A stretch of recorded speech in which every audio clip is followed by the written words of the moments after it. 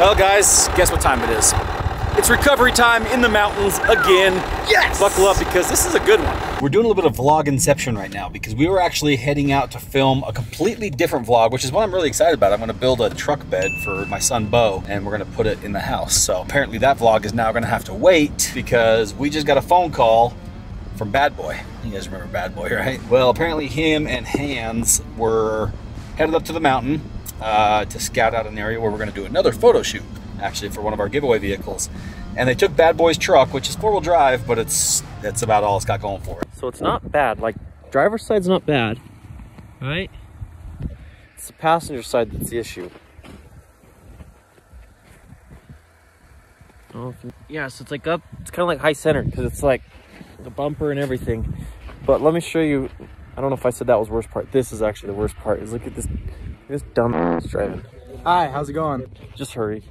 I'm out of, oh, I run out of food and I really can't stand Alec. So if you can just hurry, I would really appreciate it. Now that we have the rescue phone call put in from Alec and Hans, I'm gonna call Diesel Dave and see where he's at. Because obviously I'm gonna make him go with me. Because, well, I'm not gonna rescue him by myself. myself. Do you wanna ride passenger with me while we go rescue Bad Boy? Rescue Bad Boy from what? Well, you see, our, our bad boy friend and Hans decided to go up uh, the canyon to scout out for, I guess, one of the giveaway truck shoots or something. I don't know what they were doing. I was actually going to film the bed stuff with Murphy for Bo. Hans let Bad Boy take his truck. That's what I said. That's like literally word for word what I said. So Arizona Bad Boy is in the snow in his little truck with Hans. turns out it is four wheel drive though, so that's a bonus. I, I thought for sure it was two wheel That is a drive, bonus. But But that's you know he's not supposed to do any Bad Boy things without supervision. I figured Hans would yeah. No, they were stop to all that they, they were they were both up there being a couple of bad boys. So I think we're gonna take Rattletrap. Rattletrap is a Cummins powered Jeep Wrangler that I've had for a while. It was a giveaway vehicle actually, but the winner decided to take cash because he didn't have anywhere to park a Jeep this big. It's big. I don't think we've showcased it on the channel before. You guys have probably seen it around before if you type in Rattletrap.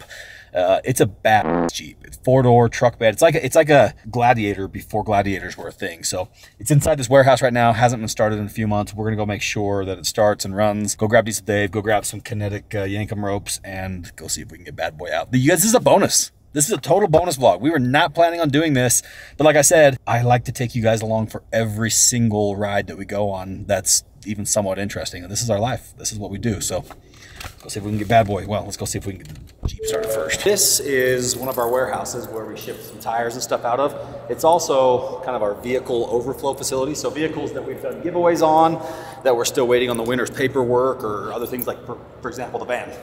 The van's a vehicle that we gave away, um, but it takes a few months to process the paperwork so that we can deliver to the winner. So this one's getting ready to ship out to the winner. Um, this Duramax right here, same thing, ready to ship out. This one, I think, can't remember. I think there were some complications with the winter paperwork or something, so there was a delay. But this is where they are. This is Rattle Trap. This is this is my baby.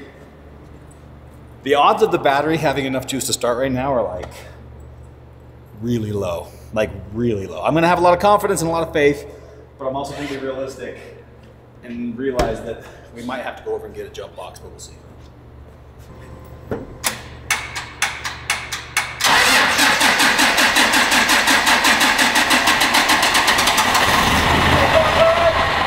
No way!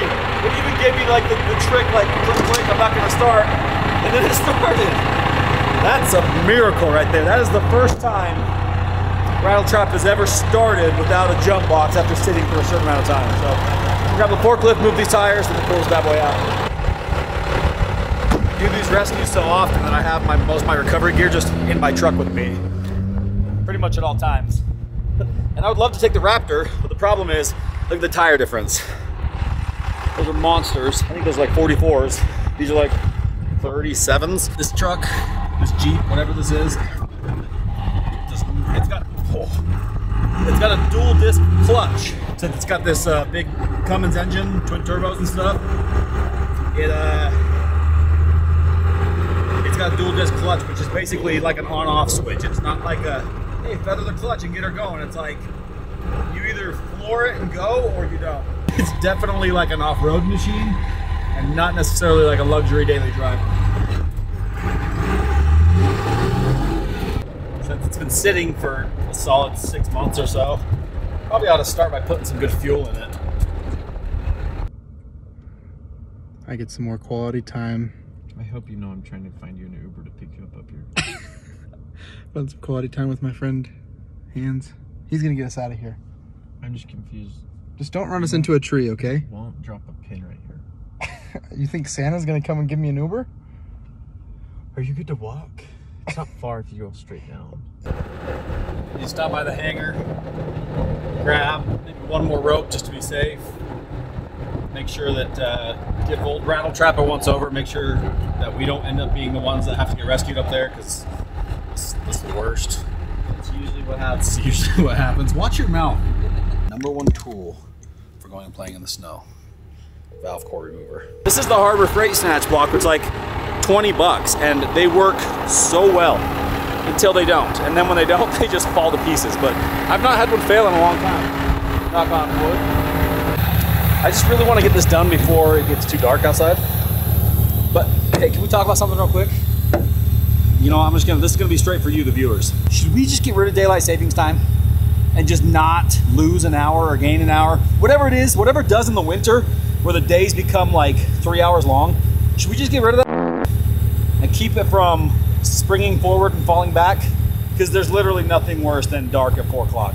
But now we're getting to the time of year where it's starting like 6.15 sunsets, then 6.30, then 7. I'm telling you right now, one of my favorite feelings in the world is like a 9 o'clock, 9.30, 10 o'clock sunset. Up in Montana, sunsets around like 11.15 at night. It's glorious. So here's one of my rules of off-road recovery. If you're taking a recovery rope, take two. Because if your recoveries go anything like ours do, there's nothing worse than getting caught on the mountain with a broken rope. So primary rope, secondary rope, time to party. And my final thought on recovery gear is make sure it has a nice gear bag to go in with. Like, it lasts you so much longer if you're not just tossing it in everywhere. Keep it in a nice bag. That way, it'll provide you years of trouble-free service. Let me show you guys the other worst part about this. Hey, buddy. Hey, pal. Hey, are you my Uber?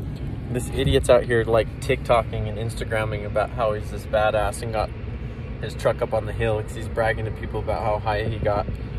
He's not telling him anything about how stuck he is. That's the kind of person we're dealing with right here. The bad, the bad boy. We'll be there in a minute.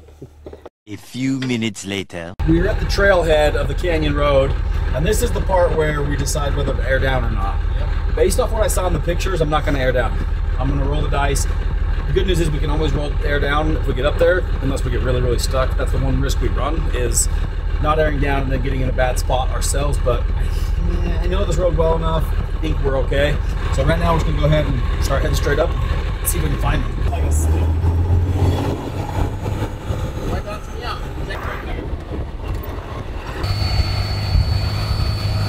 Meanwhile, I really do want to get way.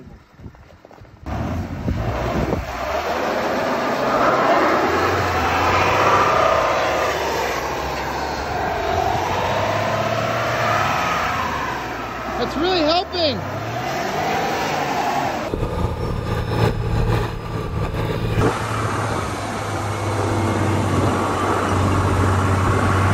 a little longer than a few minutes later. Oh, there they are! No, that's another one.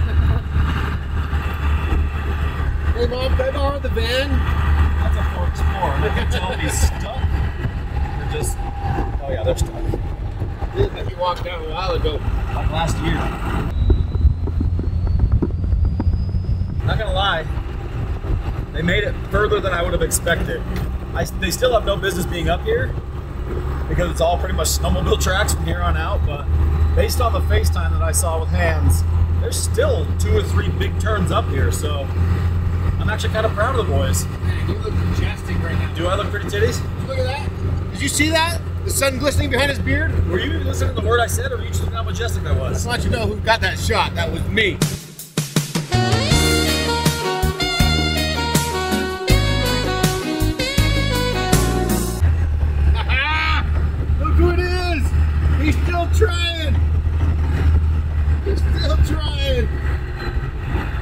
There's no bruises.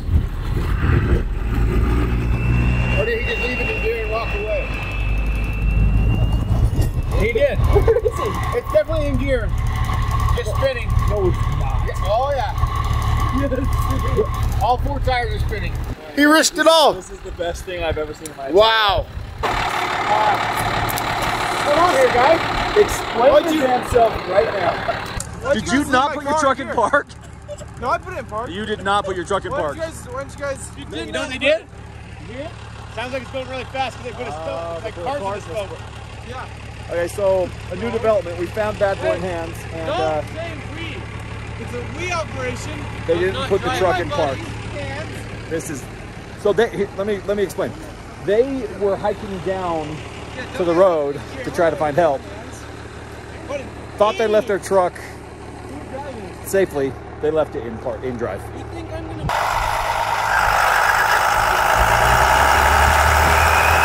Oh! Are you stuck? This is the part where we air down. Remember how I said I was going to air down at the bottom, but I chose, chose not to? Well, we made it up okay, but obviously now that we've stopped, the Jeep wants to be aired down. But watch this. As soon as I air down, this thing acts like it has tracks on it. Watch this. Did you guys try letting the air out of your tires too? Listen, Tokyo Drift over there don't got air in them. They're just solid rubber.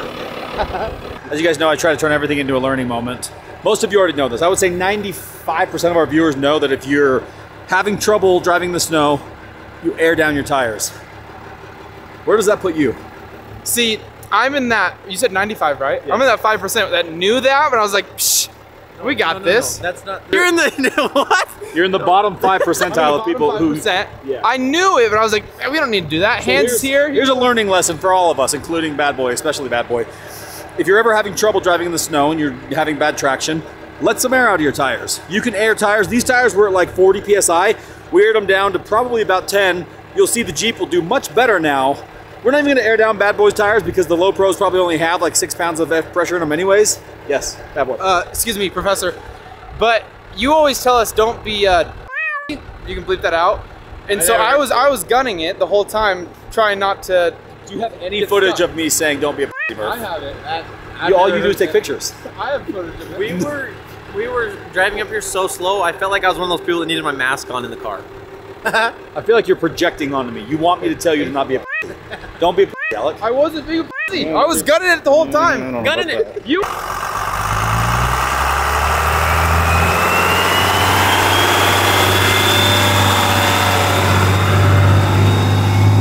just just so we're clear, I'm gonna rock his world right now. I'm gonna tug him so hard. Gay! It'll get him out, but it's definitely gonna break his neck as well. He thinks this is just so this is Alec's first job, first day time job, first day of doing a recovery. He's never had to be recovered before. And to reward him for his terrible driving, I'm not gonna take any slack out of the rope. I'm just gonna give it the onion and see what happens. So it should be fun. Give you a nice little tug, all right? I have a bad feeling about this. No, no. Here comes the tug. Shit, Dave.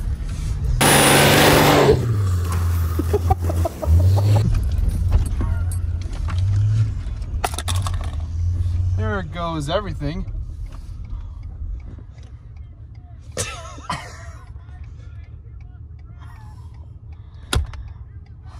I wish I would have been filming that. The one time I wasn't filming. Idiot. I don't know what happened. You just stop, Alec. We'll take we'll take it from here. Why you trying to kill me, bad boy? Why is bad boy trying to kill me? Take it out of gear. Now we're gonna take Alec up to the turnaround point. Now that we got him unstuck, leave his vehicle there, then we're gonna go shoot the sickest sunset. Shoot the sickest sunset. That's a tongue twister.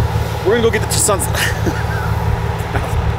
Just subtitle it because my mouth's not working. Hey, are you ready to go shoot the sickest sunset?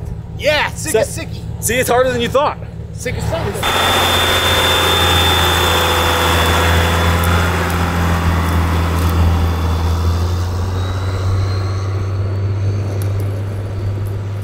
I'm running for you. Uphill in the snow, but holy moly. I mean, come on. Thank you, Utah.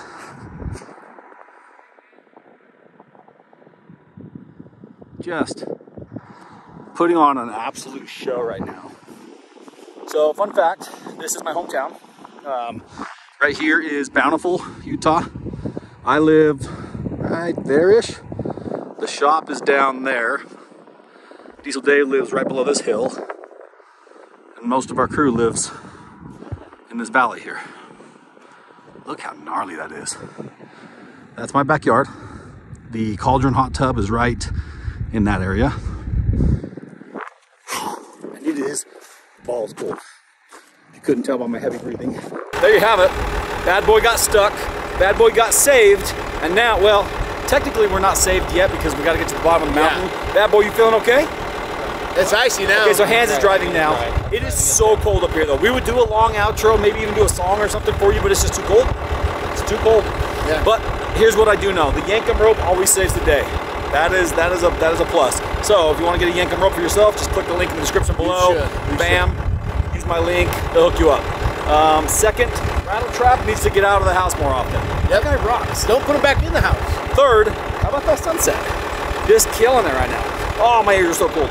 Fourth, if you're gonna tuck someone out, make sure you got a Yankum rope, because if you do that with a tow strap, it ain't gonna turn out pretty. Did you do the subscribe thing yet? No, you know what you guys should do right now? You should click that subscribe button And send us some earmuffs. and then write in comments what you liked about it. Like your best towing out experience. Have you ever tugged anyone out? You ever given a tug job? Be careful. Please don't. Please don't share anything other than off-road recovery experiences. That's what I'm talking What else would I be talking about? Just that. That's all. Oh, and like it. Like, subscribe, and comment. That's what you're supposed to do. Yes, please. But wait, there's more. nice drift.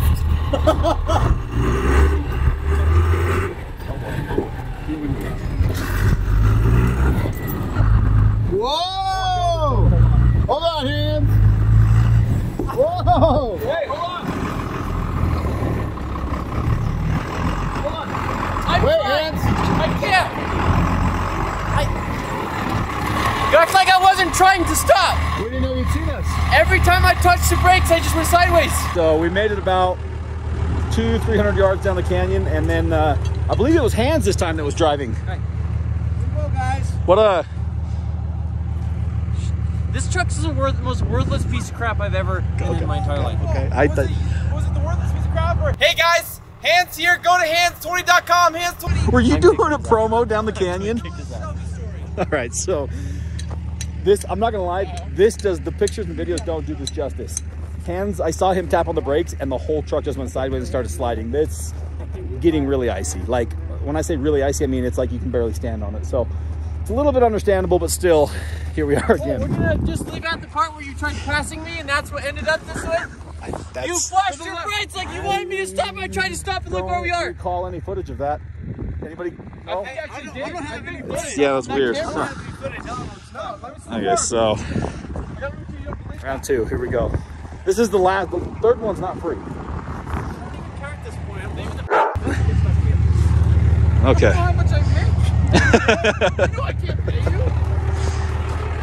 Okay, but real quick, how about just another shot of Rattle Trap though?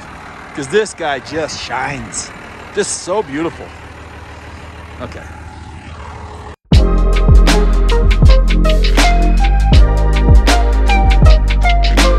We good? We got we got the shot? Ooh, I let a lot of air out of those tires.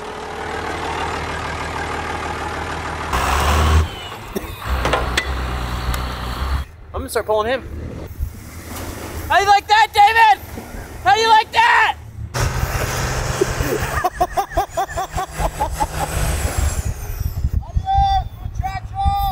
How did you slide up the hill?